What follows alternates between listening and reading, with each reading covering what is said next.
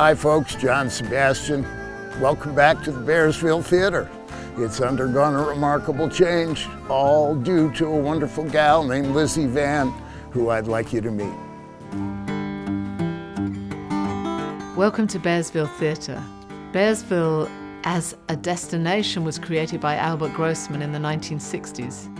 Albert's vision was to create a utopia for the musicians that he managed. He wanted somewhere that they could come out of the city, up into the mountains, the streams, the forests, and be as creative as possible. So he made it very comfortable for them. He built houses, restaurants, uh, a recording studio, a record label, and right at the end, this beautiful theatre.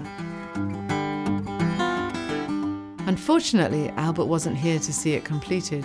He passed away, and his widow Sally Grossman finished it and opened it to the public in 1989. Albert's vision was that the theatre would be a wonderful place where the music industry would come and see his artists being showcased. So it has a large lounge, big bar, a small auditorium compared to the size of the stage, which is quite high and wide, which is very intimate. You really get up close to the artists, you can see them. And it's a very special place.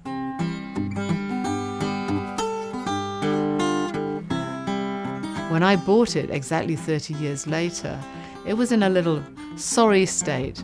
It had gone through a whole winter of no electricity and burst pipes and water coming through the ceiling. And uh, so we've spent the last 13 months renovating it.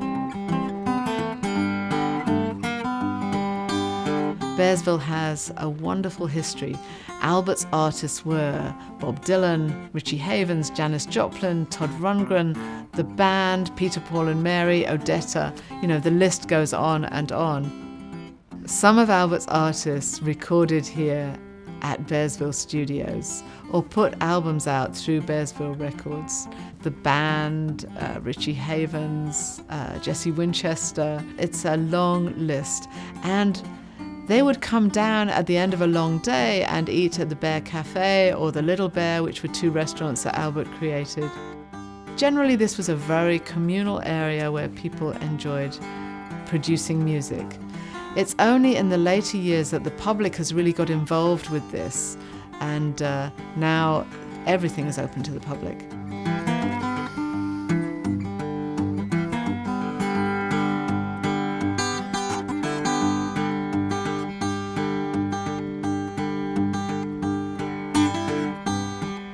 So here we are in the heart of the theatre, the stage and the auditorium area, where we can comfortably seat over 400 people.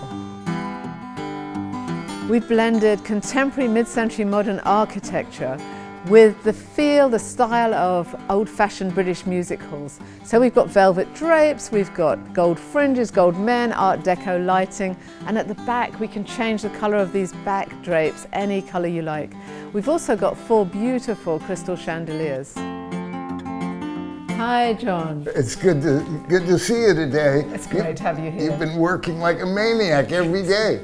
And this months. behind us is such a wonderful assembly. Well, we say that these are the musicians that made Woodstock the most famous small town in America. One of my favorite songwriters, Jesse Winchester, NRBQ. These are the guys who put in the time. Yeah, this yeah. is who you'd be seeing if you stayed up till four in the morning in Woodstock. and of course, George Harrison just casually reading a book because he did stop by. My vision is for Bearsville Theatre to rise again like a phoenix so that artists can come here to the heart of the Catskill Mountains and create perform, rehearse, record their music. So thank you, John. Thank you for coming in. It's such an honor to have you here, and it was so great to hear your memories. I've really enjoyed having all my old pals on the wall here, and, and we'll, we'll see, see, you, you at the Bearsville Theatre.